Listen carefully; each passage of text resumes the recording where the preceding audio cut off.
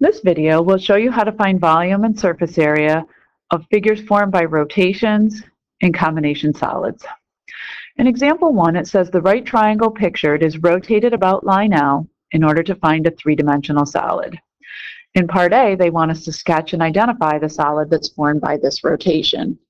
So the first thing that we need to do is go reread and get a closer look at what we're trying to do here.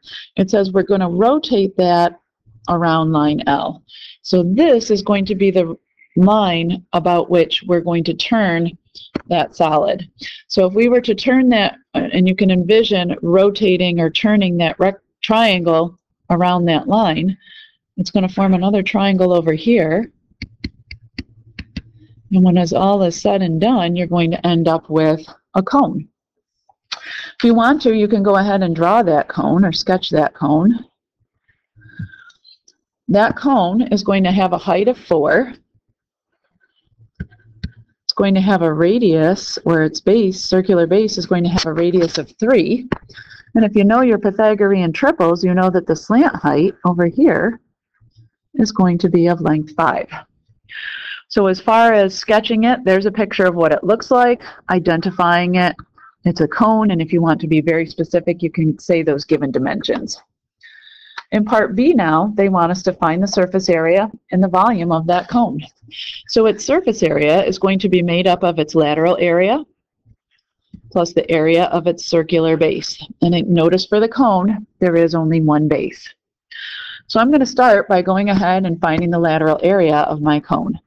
Lateral area is found by doing pi times the radius times the slant height. So pi times 3 times 5, or in other words, 15 pi square units. So I'm going to come over here and plug that into my formula for lateral area.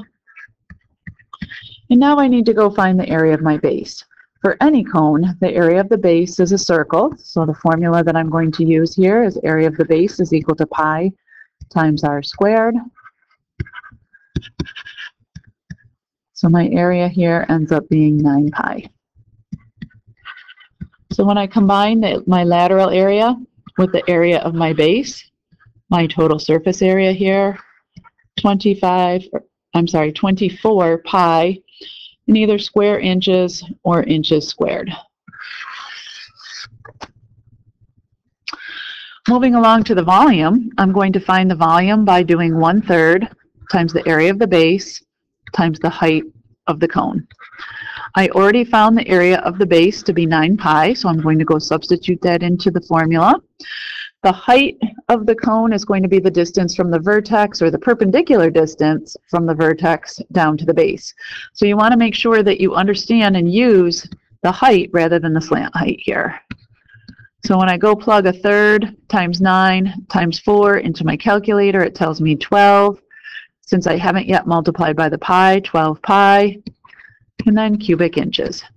Now, notice here that because it didn't tell me to round anywhere in the question or anywhere in the problem, I'm going to leave my answer in terms of pi. And that's always going to be the case unless you're asked to round. And if you're asked to round, then you want to punch that times pi into your calculator and round to whatever you've been requested to do in the problem. All right, so there's the rotation in example one. Let's go ahead and move on to the mailbox in number two. This, I think, is an interesting question. It says find both the volume and the surface area of the mailbox picture below.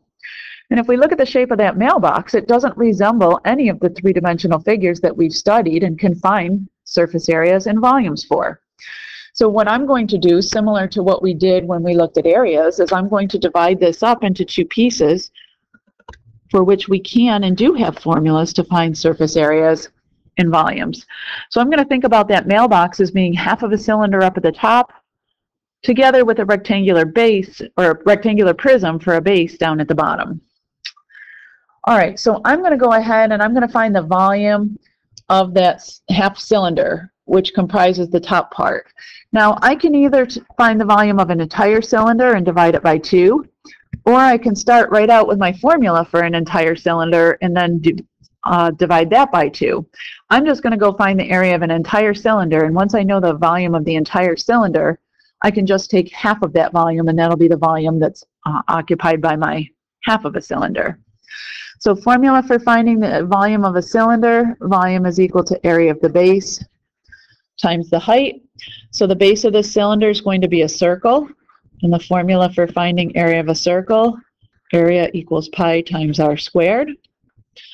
So the radius here is either going to be 4 if you measure from the center to the right, or 4 if you measure from the center up to the top. Either way, the radius of that circle is going to be 4. So that makes the area of the base 16 pi.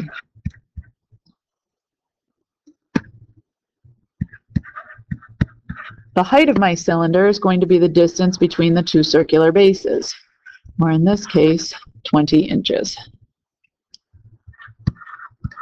So when I get my calculator out and multiply the 16 times the 20, I get 320 pi. And again, it doesn't say to round, so I leave my answer in terms of pi.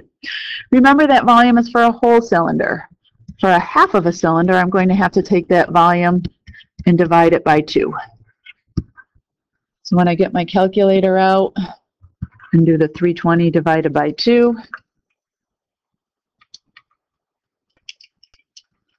I find out that the volume for half of a cylinder is 160 pi. And if I want to, I can say cubic inches. Now I need to find the volume for the rectangular prism that makes up the bottom of my mailbox. So you can either use the same formula that you used for the cylinder, that the volume is equal to the area of the base times the height, or you can use your old trusty volume equals length times width times height. So the dimensions here of this rectangular prism are going to be 20 by 8 by 5.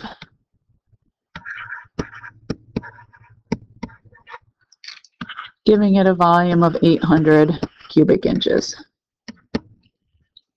So the total volume here is going to be the volume of that half of a cylinder, or the 160 pi, plus the 800 cubic inches from the rectangular prism, giving us a total volume of 160 pi plus 800 cubic inches.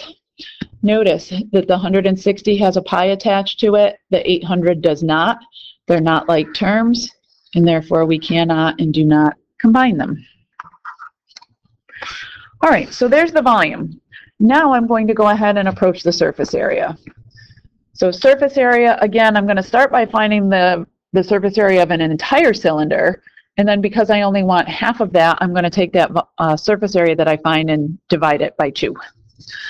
All right, so cylinder, again, I'm telling the person reading my paper which shape I'm finding surface area for.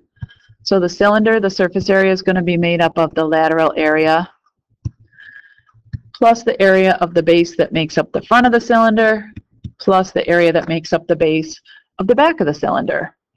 So the first thing I need to do is go find lateral area. Lateral area is going to be from my formula sheet 2 pi RH. Or in other words, 2 times pi times 4, and we said the height of the cylinder was 20.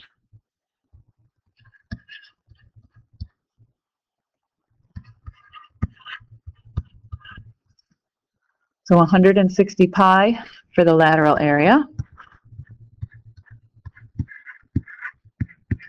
The area of the base we already found, and each of those circular bases has an area of 16 pi, giving us a total surface area of 192 for the cylinder. But again, I'm remembering that we only have half of a cylinder, so I'm going to take that 192 pi and I'm going to divide it by 2.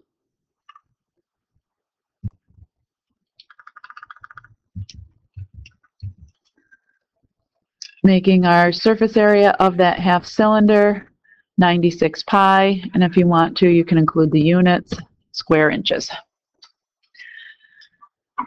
Okay, then moving right along, I'm going to go find the surface area of that rectangular prism. And if I consider the picture here, that rectangular prism is made up of uh, rectangular faces. So I'm going to consider the rectangles that comprise or make up the surface area of that rectangular prism. There's a rectangle that makes up the front and the back of the mailbox, and the dimensions of that rectangle are 8 by 5, making its area 40 square units. And I should identify to the reader that this represents the front and the back side of the mailbox. There's a rectangle that makes up the left side and the right side of my mailbox. The dimensions of that rectangle that make up the left side and the right side are 20 inches long by 5 inches high, giving him an area of 100 square inches. And then I have a rectangle that makes up the base or the bottom of my mailbox. Notice that while the bottom is on the surface, the top is inside the mailbox and not part of the surface area. So I'm going to say this guy is just the bottom. And that bottom rectangle has dimensions 20 in inches long by 8 inches wide, giving him an area of 160 square inches. So the total area for this rectangular prism is going to be two of those that make up the front and the back, plus two of those that make up the left and the right, plus the bottom of that rectangular prism. So I'm going to go ahead and add those together on my calculator for a grand total of 440 square units for the rectangular prism. So the surface area is going to include the 96 pi for the surface area of my half cylinder, plus the 440 square units that make up the surface area of my rectangular prism. I'm going to label that square inches, and I'm going to remember that these two guys are not like terms and cannot be combined. All right, then up at the top page, like always, you're going to summarize the key ideas and important understandings in your own words and see if you can apply what you know to solve the problems on the next page.